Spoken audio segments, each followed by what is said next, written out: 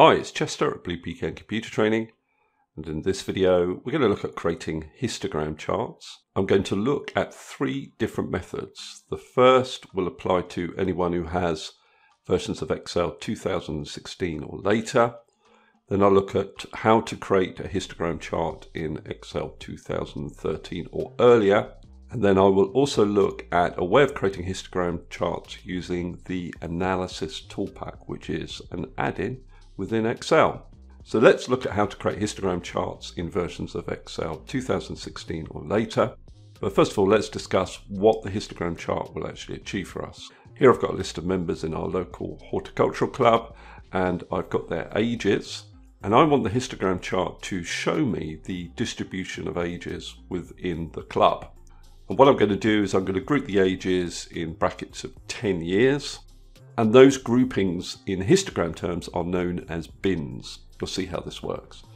So how do I create the histogram chart? What I do is I just click into my data and then I go up to the insert tab on my ribbon and in the charts group you'll see that there is a button for statistic charts. If I click on that there is the histogram chart. Click on it there and I get the default histogram chart. It's going to move the chart over a little bit and I want you to observe the values that are on the horizontal axis. Now these are the default bins or the default grouping. So 22 comma 39 means ages 22 to 39, then 39 to 56, 56 to 73, etc. So I can tell from this chart that there are five people in this age bracket, 14 people in this age bracket, and 17 people in this age bracket. The first thing I want to do, however, is change these bins. I want to group in 10 year age brackets. Now to change the bin values, double click down on the horizontal axis and that'll open up the format axis task pane on the right of your screen. And in the axis option section, which is open on mine, but you might need to expand it, you can see that the bin size is set to automatic. Now I'm going to set my bin width or my bin size to 10. You can see now that it increases the number of bins, the number of columns within my histogram chart, and the bin sizes are now 10 or 10 years. Now I want my age brackets to start at 25 to 35, 35 to 45, and the way I can do that is to go to my underflow bin setting and input a value of 25. If I press enter, you can see now that this underflow bin captures any ages that are less than or equal to 25. So at the moment, I only seem to have one person in my horticultural club that has an age under 25. If I scroll down, I can see that that is member 16. If I change member 1's age to 25, you can see that it increases the number of people in that bin. So these bin labels are a little bit ambiguous because it looks as though someone who is 25 should end up in this bin and this bin. But really, someone will only end up in the second bin if they are 26 or over. So if I change member 1 to 26, you can see that they end up in this bin. Now I'm going to double click back on my horizontal axis and what I can do here is also set an overflow bin.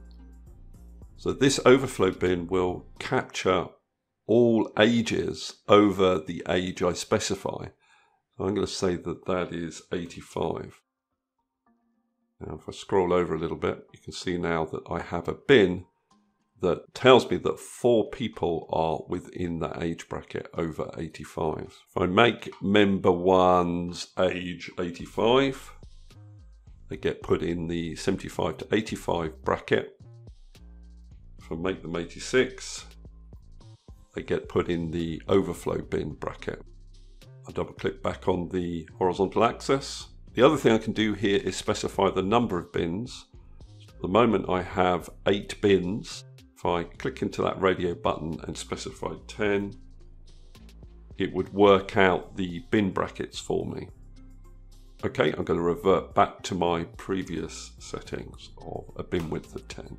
Now it might be useful to show data labels on these columns within the histogram chart. But to do that, I go up to the plus button, chart elements, top right of the chart. And there I have the option for data labels. I could probably then take the grid lines off and also the vertical axis. Then I'm going to add some axis titles. Down here I can have age brackets. And here I can have number of members. Chart title.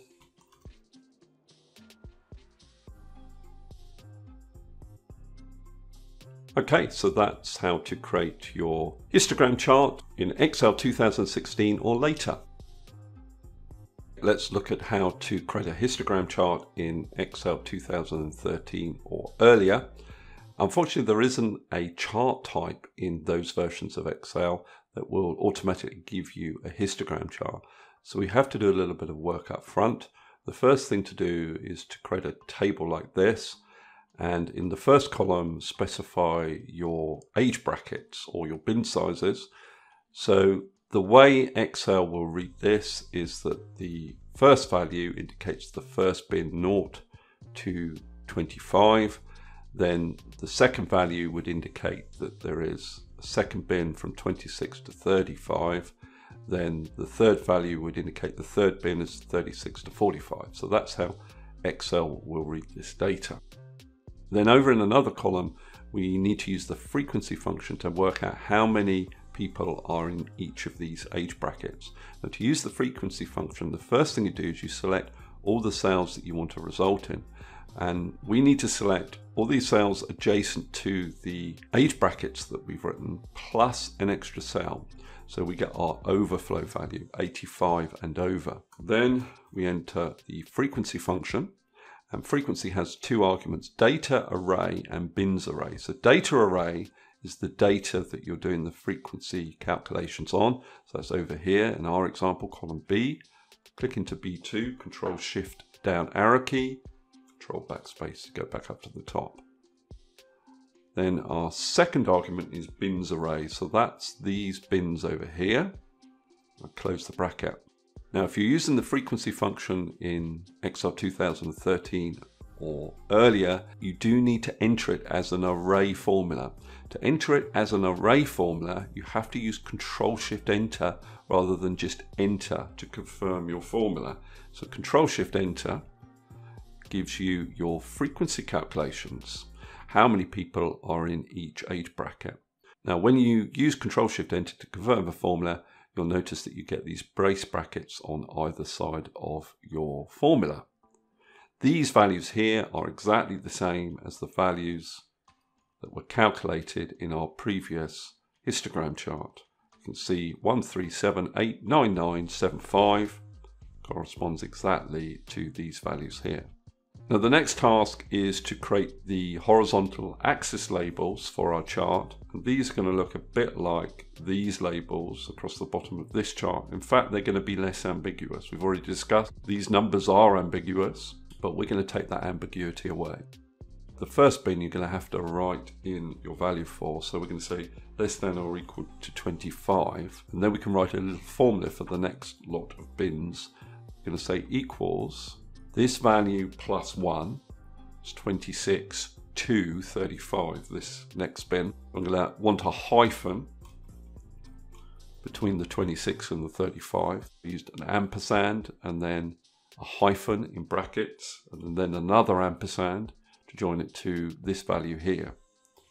And I get 26 to 35. If I copy this down, then the last bracket will be greater than 85. Okay, so now I can select those two columns and I can create a column chart. To do that, I go up to the Insert tab on my ribbon and there is a column chart button here. I just go for the clustered column chart type. Now it looks nothing like a histogram chart at the moment. We need to close the gaps between these columns. Now to do that, double click on one of the columns and that will bring up the Format Data Series task pane on the right of your screen. Decrease the gap width to zero and now you have something looking like a histogram chart. Now I can do the same job in terms of adding data labels and go up to my plus button here.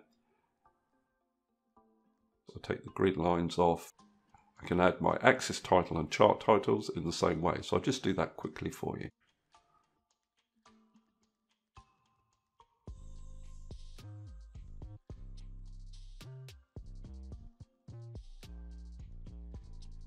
Now, arguably, this chart is better than the automatic chart that's created in later versions of Excel because these age bracket labels are less ambiguous.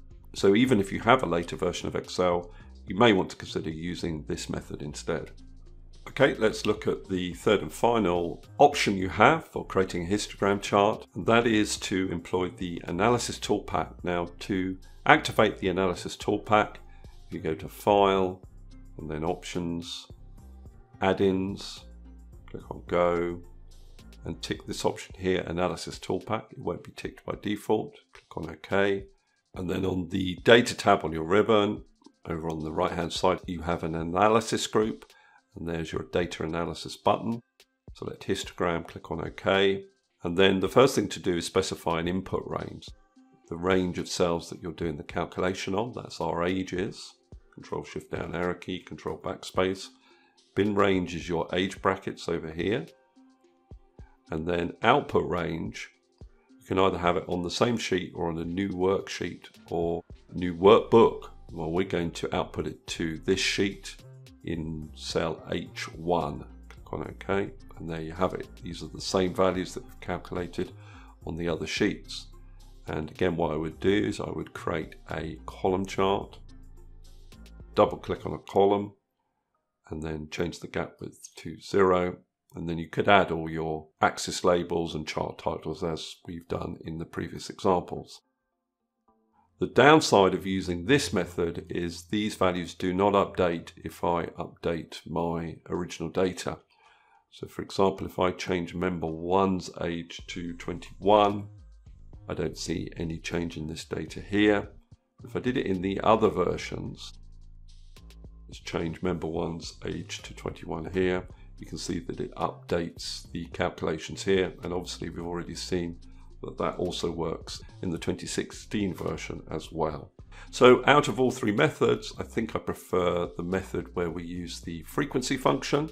Despite the fact we have to do a little bit more work, it does give us these less ambiguous x-axis labels. Okay, that's all I wanted to cover in this particular video.